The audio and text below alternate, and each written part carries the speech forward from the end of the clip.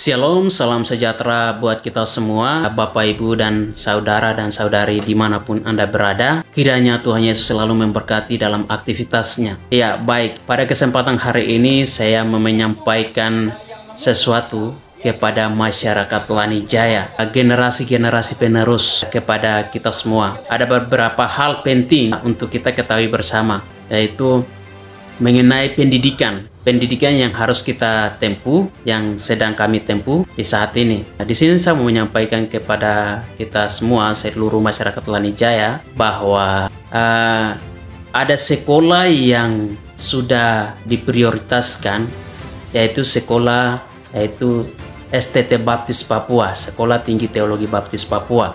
Di situ ada beberapa jurusan, yaitu jurusan teologi dan jurusan perguruan tinggi yaitu PAK pendidikan ya. Nah, di sini khususnya uh, Kabupaten Lanijaya itu sebenarnya itu untuk kampus ini jatah ya. Buat kita ketahui bersama itu jatah bagi siapa pun yang selesai dari Sekolah Tinggi Teologi Baptis Papua pasti jatah untuk untuk menerima aset atau aset daripada Kabupaten Lanijaya. Jadi saya berpesan kepada seluruh anak muda generasi uh, Lanijaya, kalau mau belajar itu cari kampus yang jadi prioritas atau jadi uh, di mana kampus itu menjadi jatah termasuk kampus kampus STT Baptis Papua. Kalau seandainya Anda mau jadi guru, sebenarnya kamu bisa masuk di Sekolah Tinggi Teologi Baptis Papua karena itu jatah. Bagaimanapun pemerintah Lanijaya akan respon dengan baik.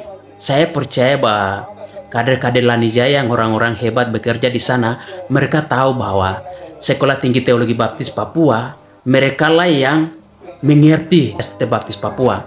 Oleh sebab itu, bagi siapa yang selesai daripada Sekolah Tinggi Teologi Baptis Papua, pasti akan diterima dengan senang hati karena kader-kader yang mengerti tentang sekolah ini.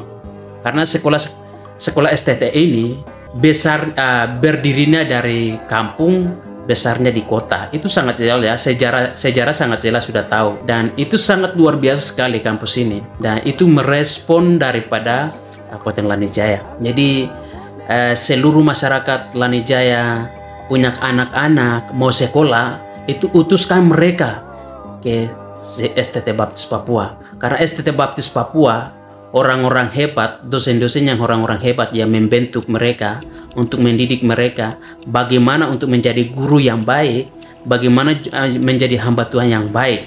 Itu hanya di STT Baptis Papua.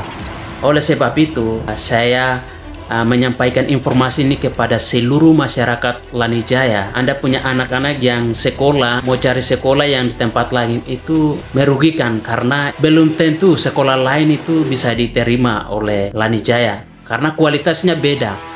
Saya percaya bahwa STT Baptis Papua yang sangat kualitas dan sudah agreditasi B sudah menuju naik ke A sangat luar biasa. Sekarang progresnya sangat luar biasa sekali saya lihat dan saya sendiri mahasiswa STT Baptis Papua yang saya lihat dan dengan mata kepalanya sendiri itu kualitas daripada STT Baptis Papua.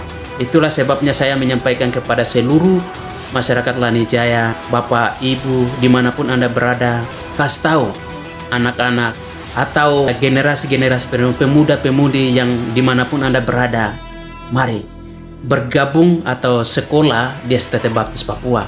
STT Baptis Papua itu bukan hanya sekolah teologi, tetapi ada sekolah keguruan atau mau jadi guru. Siapa saja mau jadi guru, silakan masuk di STT Baptis Papua karena sekolah STT Baptis Papua sangat luar biasa dan denominasi-denominasi lain sangat akui tentang Sekolah Tinggi Teologi Baptis Papua karena sekolah ini sangat berkualitas dan mereka sudah tahu sekolah STT Baptis Papua. Itulah sebabnya saya menyampaikan kepada kita semua untuk khususnya masyarakat atau uh, seluruh masyarakat Lanijaya supaya anak-anaknya bisa masuk Sekolah Tinggi Teologi Baptis Papua. Sekian dan terima kasih atas perhatian saudara dan saudari di mana pun Anda berada. Kiranya Tuhan Yesus memberkati kita semua. Wah,